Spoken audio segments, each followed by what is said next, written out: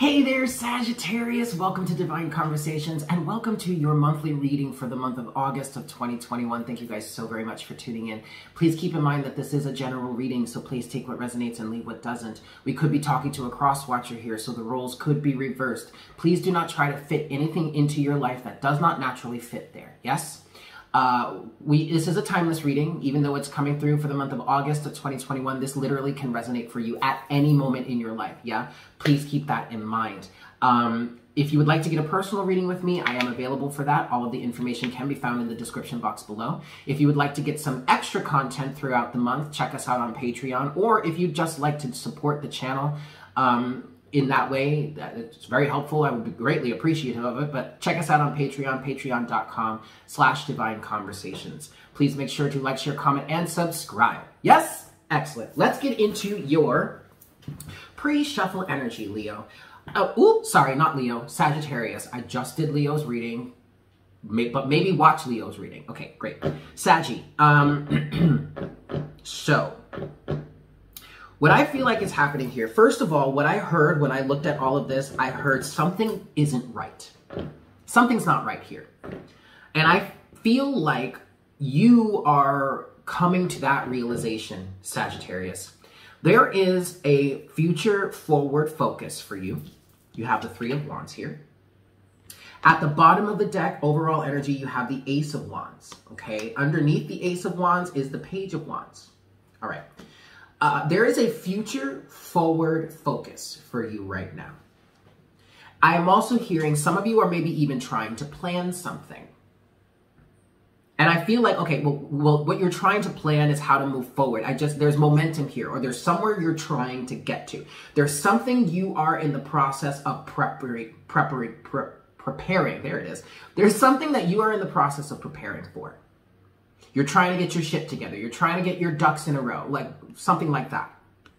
And there is some sort of illusionary rea uh, reality here that you're kind of like, what is happening? But it's crossing this, the, this Three of Wands energy. It's the Ten of Swords and the Moon. Either the Ten of Swords and the Moon, which both came out sideways, are talking about you coming to the realization of something that is not as it seemed before, is not as it seemed to be. That is actually really toxic, really destructive, or in essence is just holding you back. And that is about to come to an end. Or you are recognizing that something needs to come to an end and you're because you're seeing through the illusionary aspect of it and you're preparing to bring it to an end. There is either inspiration and a desire to move forward in a new direction or a desire to send a message that will end a situation, or you have a certain vision in mind, and before you can really move forward towards that, you need to take a step back, Four of Swords, and end something, Queen of Swords, Ten of Wands, in order for yourself to be able to move forward. Something that you are starting to come to an understanding is not what it seems. And you're getting this from your intuition. The high priestess and the moon both represent intuitive energies. So even if, Sagittarius, even if you may not be able to nail down any sort of physical evidence, physical proof as to what is wrong with this situation here, it doesn't matter.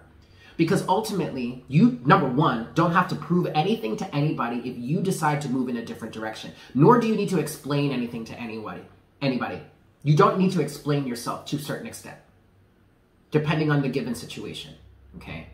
Like if you're in some sort of contractual agreement, okay, you probably need to explain yourself somehow. Like, you know what I mean? But otherwise, you don't really need to explain yourself. You don't really need to justify anything especially since it's coming from your higher self. It's coming from your intuitive ability. If you know, if you can just feel, if you just know something is off here, you are most likely right, Sagittarius. And you don't have to prove anything to anybody because most likely with this moon energy, Sag, most likely whatever situation or people or individuals involved with this are thriving off of or banking on the fact that there is an illusion here and you can't nail it down. Because then that way they can continue to get away with it or they don't have to take responsibility or own up for their actions.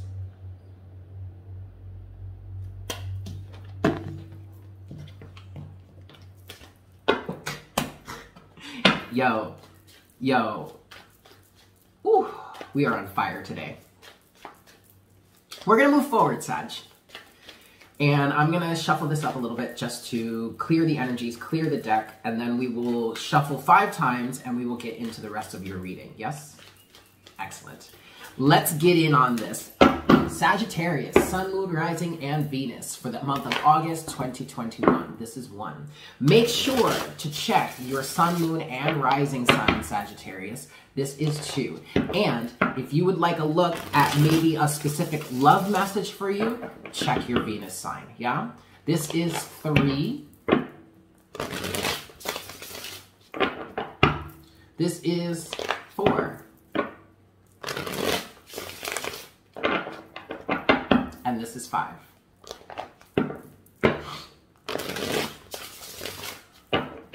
All right, let's cut the deck, Sag. Boop. Okay, hold on a second. We'll get into the overall energy in just a moment. Hold on a second. Sorry about that, Sag. Okay, overall energy for you. Ooh, we have judgment. All right. So you're rising above. What I'm hearing, Sagittarius, is you are handling handling this in the proper way.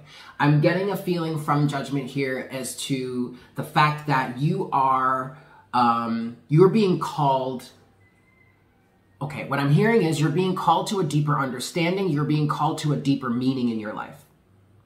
And you're being called to rise above certain circumstances. This judgment energy is exactly why you're getting some sort of intuitive hits that something doesn't necessarily seem right here.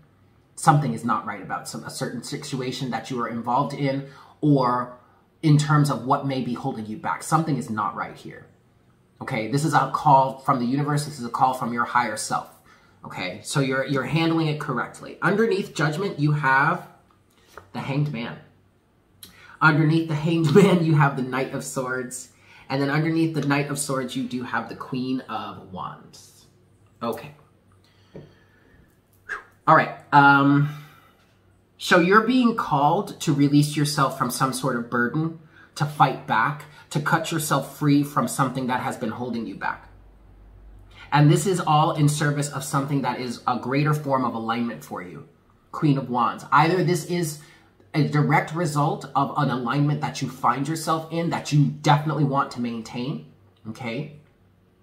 Or this is in service of getting, ultimately getting into an alignment that will better serve you, okay? Underneath the Queen of Wands at the bottom of the deck is the Six of Swords. Okay, so either, like I said, either this alignment is in service, uh, either that you're already in this alignment and it's serving to move you forward out of a painful or tough situation, or you are moving forward towards an alignment that's going to get you there. Okay. Okay. okay. Sorry, I just got a really te funny text message from a friend. All right. We're going to get into the first half for the rest of your reading here, Sagittarius. First half and second half of your reading. The first half of your reading is going to look at the past energies up until the current moment. And then the second half of your reading is going to look at the current moment and off into the future. Yes? And I sip. first set of surrounding energies for you, Sagittarius. Sorry, Saggy. I just did Leo's energy. It was all hot and heavy, but you might want to watch Leo's energy. All right, fine.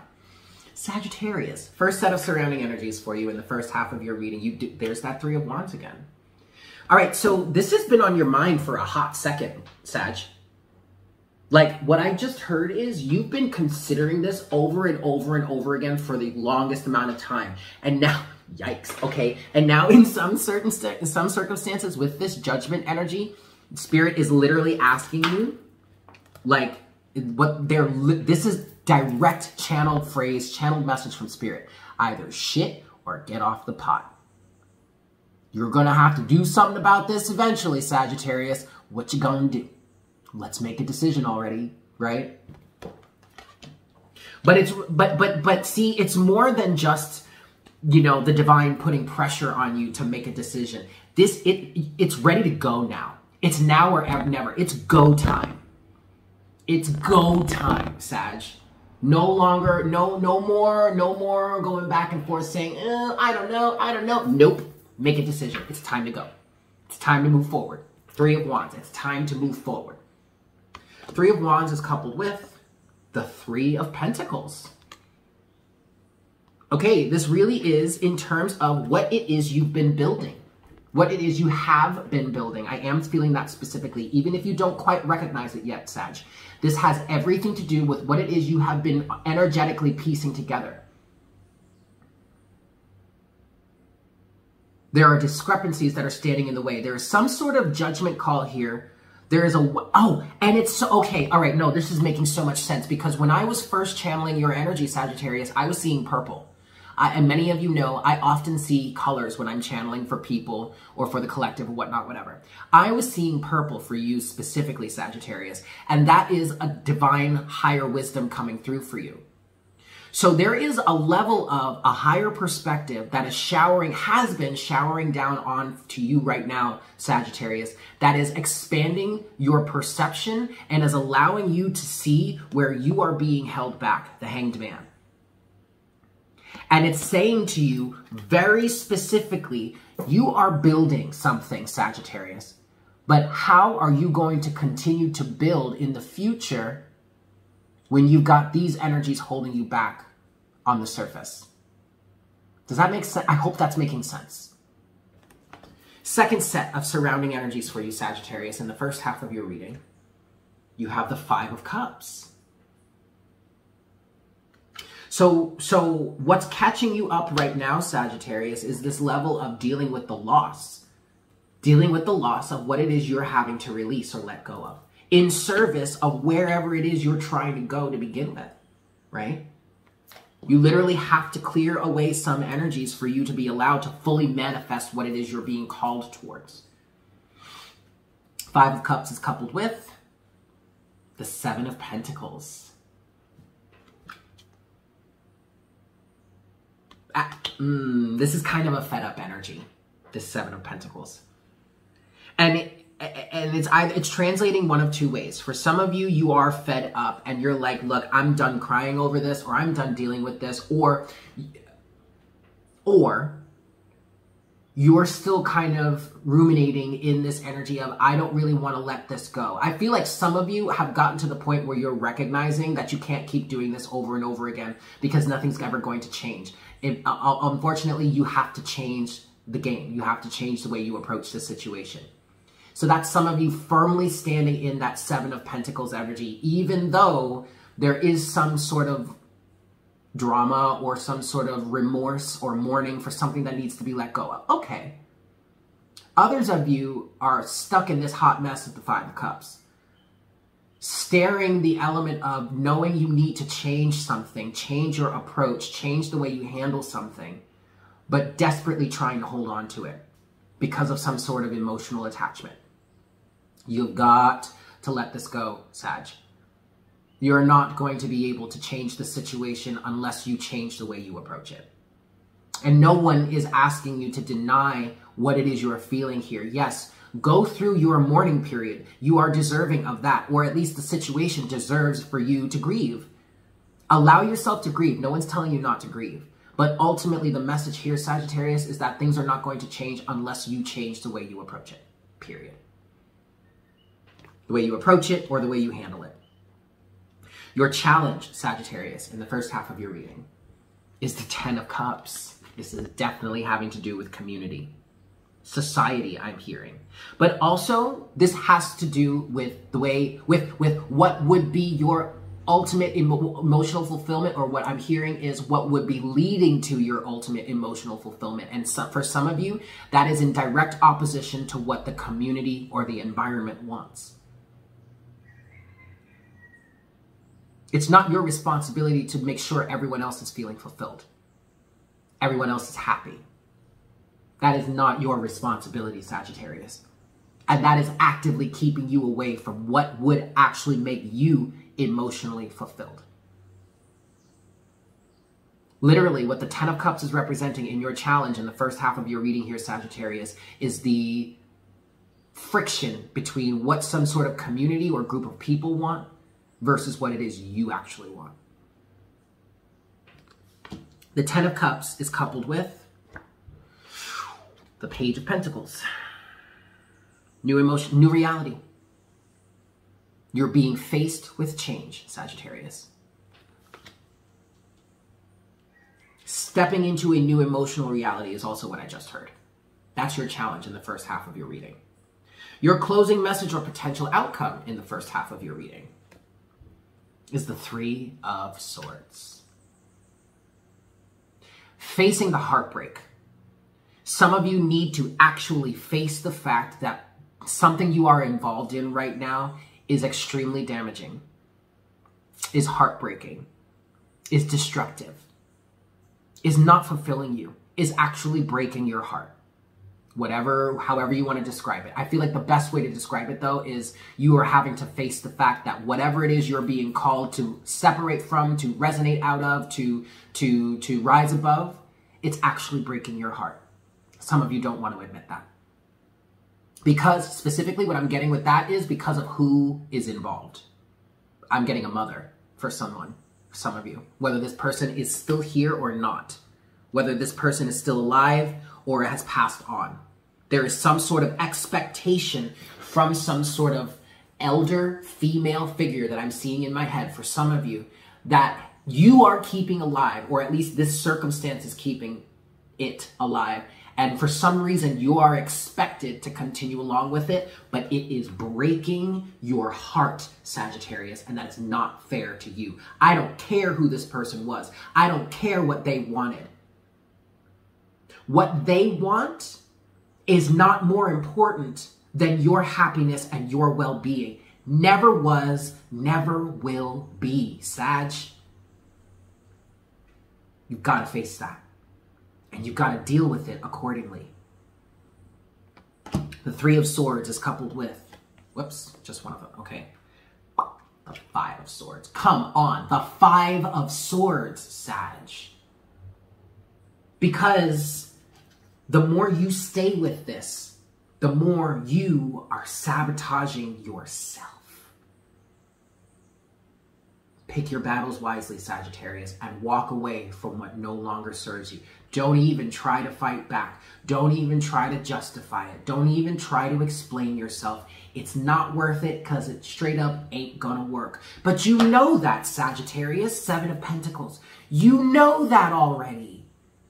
You've been in this time and time and time and time again, and you've tried to do it the same old way, and it never changed. It is time to take a radically different approach judgment. That is the only way you are going to be able to change this circumstance for yourself is is by taking a radically different approach. Let's get into the second half of your reading. And here we're going to be looking at the current surrounding energies off into the future. Yes? Excellent. First set of surrounding energies for you, Sag, in the second half of your reading, you have the Nine of Swords. But what if? But what if, what if, what if, what if nothing, Sagittarius? This this energy, this what if energy, is an illusion. And ultimately will become a self fulfilling prophecy because the more energy you give it, the more energy it takes on, and the more of a life of its own it takes on. What if nothing? It's time to quell the fears and start doing what it is you love to do or what it is you would love to do. Nine of Swords is coupled with. Just a moment, please. Excuse me. The Ten of Wands.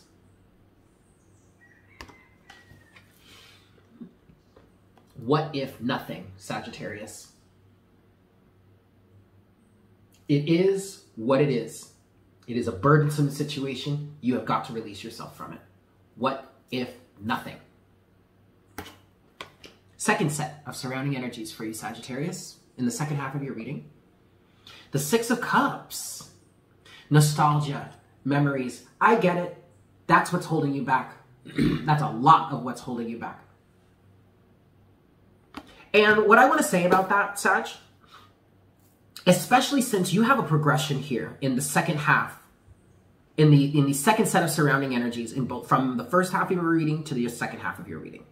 In the first half of your reading, you had the Five of Cups as your first set of surrounding energies. I'm sorry, as your second set, first card in the second set of surrounding energies, right? And now in the second half of your reading, the first card in the second set of your surrounding energies is the Six of Cups. So there is something that has emotional value or emotional weight to you that you are absolutely needing to let go of. But that does not mean, Sag, that you have to let go of the fond memories. Please, by all means, hold on to those. But do not allow your nostalgia to keep you in a place that ultimately breaks your heart time and time again. Please. That is Five of Swords energy. Look back on these memories with fondness, please. But don't keep yourself stuck in a position that's only going to hurt you. The Six of Cups is coupled with justice. No matter how fond certain memories are for you, Sagittarius, that does not change the fact that something here is not what it seems. Something here is breaking your heart. Something here is destructive. There is justice that is meant to be served here. No amount, no amount of cute, nostalgic, good feeling, nostalgic energy is ever going to change the fact that something needs to be balanced out. And the balancing act, whatever needs to happen to balance this out, is justified.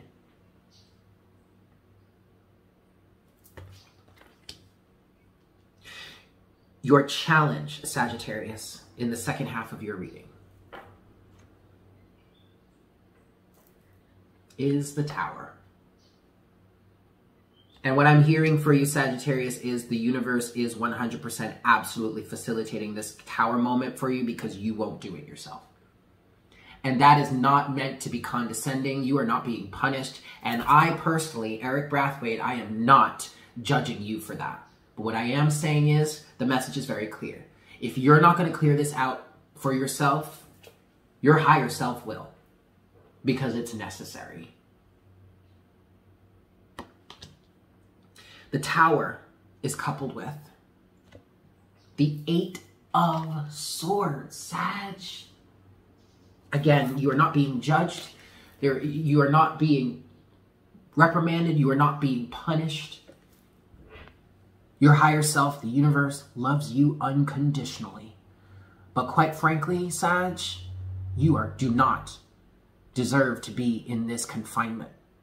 And thus, your higher self will be facilitating a tower moment for you in service of your greater good. It might not seem like it right now, but this tower moment that could be happening for you, that will be happening for you, whether you do it yourself or not, is in service of breaking you free. No ifs, ands, or buts about it, babe. Okay? We love you. We want you to be free. We want you to be happy. This does not serve you any longer, my dear child. Therefore, you need to be broken free. And we're going to do it for you if you don't want to do it yourself. Because you are meant, this is, and, and, and, and some of you are asking, but why? But why? Because this is what's meant to be happening. This is in service of yourself and your highest good, the greater good, even. If you want to, if you want to be completely selfless, not selfish, selfless, then okay. For this one hot second, let's take you out of this situation and see the perspective there. Because this actually ultimately serves more than just you, your happiness and your happy and your whatever, your happiness. This actually serves everyone else that it affects. Again, you may not see it right now. It may look like one of the worst, a catastrophic event possible, but damn it, it serves everyone that it affects. It serves their highest good. Closing message or potential outcome for you, Sag, in the second half of your reading. Whoops, just one at a time. The Emperor. This is definitely um, the first thing I felt from the Emperor is Sagittarius is this is the, the the universe coming through saying no more my child I am protecting you I am putting these boundaries in place for you and you might hate me right now. You could totally look at this as one of those situations where like when you were a teenager and like your father came through if uh, or a father figure or like some authoritarian figure came through and and enacted some sort of some sort of restriction on you and you were all like ah, i hate you and you ran up to your room and slammed the door. I hate you so much. Why won't you let me live my life? But then you grow up and 20 years later you look at that and you're like whoa. Thanks dad. Thanks mom. Thanks whoever the authority was because really that was the right thing. So with the emperor, the universe is coming through and saying, you might hate me right now, but you will understand why I put this restriction around you later on. The emperor is coupled with, whoa, the sun.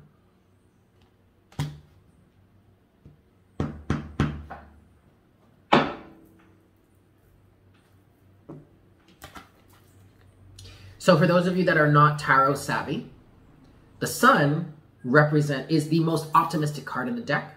I really feel like I don't need to explain this to you guys.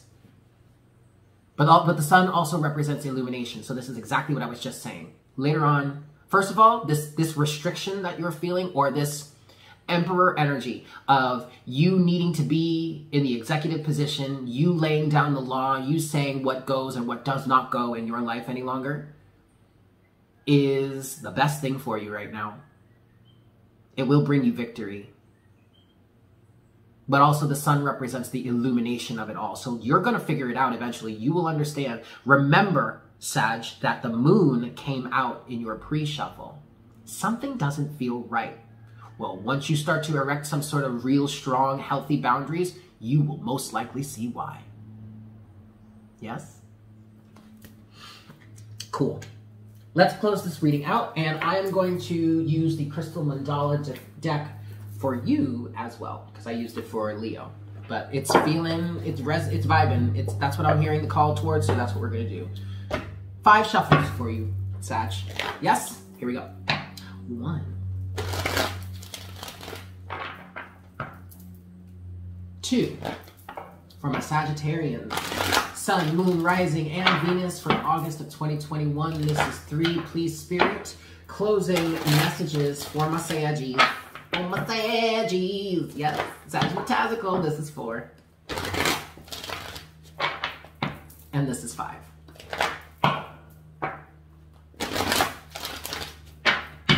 All right, closing Oracle guidance for my Sagittarians, please, Spirit. You know what's so crazy? You really might want to watch Leo's reading because it might resonate for you, uh, regardless as to whether you have a Leo placement or not. I don't know. I feel like it might resonate, so just go ahead and watch it. But we use the same closing oracle guidance deck, right? Crystal Mandala for Leo. Leo got card number 13. You, Sag, got the next step, 14. Angel uh, Lahabio and Black Tourmaline. Yo, straight up purification. Like, first of all, this is one of my favorite cards just because of the color scheme. Like black and purple are one of my absolute favorites. But also one of my absolute favorite stones is black tourmaline. Do I have it here? No, it's over there. It's fine. Um, black tourmaline is one of my favorite stones. Black tourmaline and black onyx, but check it out. And this makes so much sense for you right now, Sag. Black onyx and black tourmaline are very similar. They're extremely protective stones. However, black onyx is very, very much more gentle than black tourmaline. Black tourmaline doesn't fuck around. Okay? it's very rigid. It's very strong. It's very powerful. It doesn't fuck around. The universe ain't playing right now with any of us, least of all you, Sag. I don't know why. You can figure it out. Have that conversation with yourself, with, with the universe, okay? But the universe is not fucking around. Purification, black tourmaline.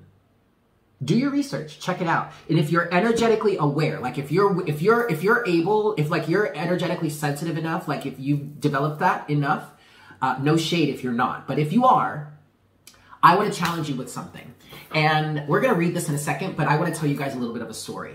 Um, a few years ago, the November, right before I started my channel, uh, Divine Conversations, I was living in Brooklyn, New York, and I was on break for from work one day. Uh, I was working at a Thai restaurant, Thai Me, um, in in Williamsburg, right across the street from. It was at a hotel, but it was right across the street from um, a park. I don't remember. Uh, right across the street from McCarren Park in in Williamsburg, Brooklyn. Okay, we were all on break. And for those of you that know Williamsburg, on Bedford Avenue, which is a main thoroughfare through Williamsburg, there tend to be, especially during the summer and the fall or whenever the weather permits, there tend to be a lot of street vendors, right?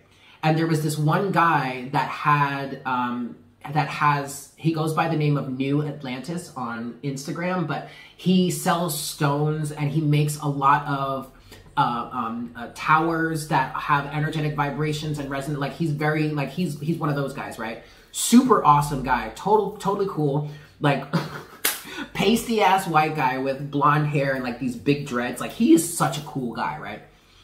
Well, at that time, I needed to get a new stone because I was I had been currently wearing an onyx black onyx stone that was a gift from my ex that I didn't want to wear anymore. I didn't want that association any longer. We had just broken up. We were about to go through a divorce. I wanted to get a new stone. He was the perfect candidate because I stopped at his table and I was like, "Whoa, whoa! You've got the stones. You've got black onyx. You've got black tourmaline. Hmm, which do I want?" And I took both of them. I put black onyx in one hand and black tourmaline in the other. And let me tell you something. The energy of black tourmaline was so incredibly palpable. Like, I was like, whoa, this is great, but this is a little too harsh for me right now. And so I went with black onyx. So I want you guys to do the same thing if you get the opportunity to, okay? Take one of each, black onyx and black tourmaline, and just feel through, like, experience what you feel. And you'll see why, okay?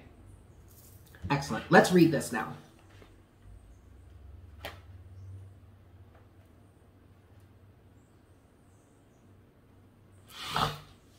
and this card does not come out often. I want you guys to recognize how significant this card is right now, especially in relation to everything we've been talking about in this reading, right? We bring you the gift of purification. This is your chance to let go of what no longer you wish to hold, what you no longer wish to hold. It might be a toxic burden within your body, mind, or emotions you wish to be freed from so you can feel lighter, happier, and more energized to attend to the things that matter most. We come to you at a time when you have become overloaded with energies, thoughts, or even perhaps physical toxins or possessions inhibiting your capacity for joy and vibrancy. If there is any fear within at the prospect of releasing something from your life, be reassured. This cleansing is a loving grace that will help you feel happier. Your higher self, the divine, the universe, loves you unconditionally and has allowed you to stay in circumstances that have hurt you, that have harmed you, but it's time to release those now. It might seem like a punishment at this point, but let me tell you something. You will be so much happier if you just go with the flow.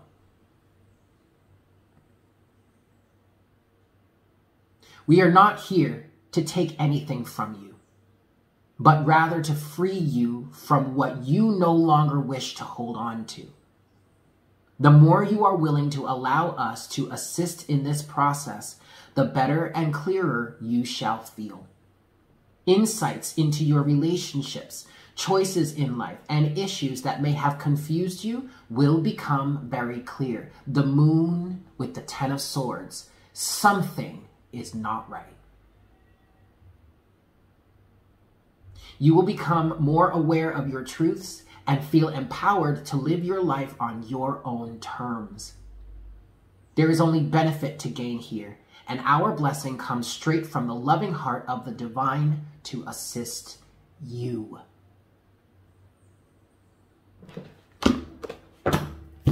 Okay, I'm going to leave it there. Thank you guys so much for tuning in. I hope this was helpful for you. I love you all so freaking much.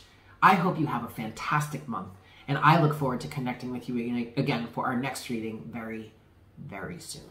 Yes? Excellent. Take care. Mm. Bye.